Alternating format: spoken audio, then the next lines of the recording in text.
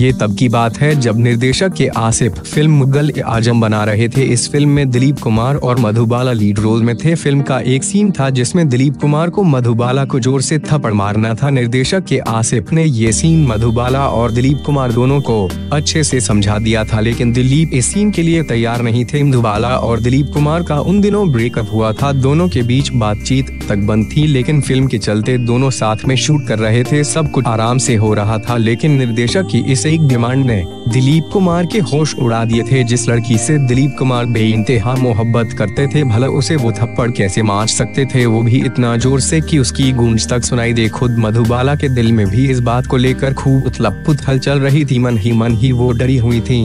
कि कहीं दिलीप कुमार अपना गुस्सा निकालने के चक्कर में ज़ोर से थप्पड़ तो नहीं मार देंगे। इन्हीं सवालों के बीच डरी सहमी वो दिलीप कुमार के सामने जाकर खड़ी होगी। शूट शुरू हुआ और दिलीप कुमार के हाथ पैर फूल गए, लेकिन ये क्या दिलीप कुमार मधुबाला को थप्पड़ मार ही नहीं पा रहे थे वो मधुबाला को इतनी धीरे धीरे थप्पड़ मार रहे थे कि निर्देशक के आसिफ हैरान रह गए कई बार समझाने और कई रीटेक देने के बाद भी जब दिलीप कुमार सही से मधुबाला को थप्पड़ नहीं मार पाए तो के आसिफ को गुस्सा आ गया और उन्होंने जाकर मधुबाला को जोरदार तमाचा जड़ दिया के आसिफ के इस रूप को देख सभी शौक रह गए। दिलीप कुमार को कुछ समझ नहीं आया और वही मधुबाला का हाल देखने लायक था। थप्पड़ों के बाद उनकी जो हालत हुई, उससे सभी का दिल पसीट गया।